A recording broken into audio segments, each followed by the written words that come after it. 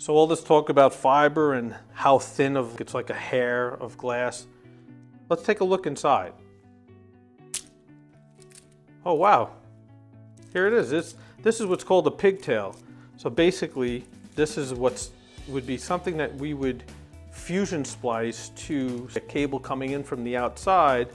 You would take these and here's the thin strands of fiber and we would actually fusion splice, which we could talk about in another video, of fusing this thin glass to the glass that's coming in, say, from the outside. And you can see how thin this is, and, and this is actually even thicker than what's even underneath that because this is a buffer around this cable. Um, so if you were to look at the core of glass for single mode, it's like nine micron, which is like you need a microscope, you know, to look at it. So if you have a growing network and you see the need for fiber optics, please give us a call.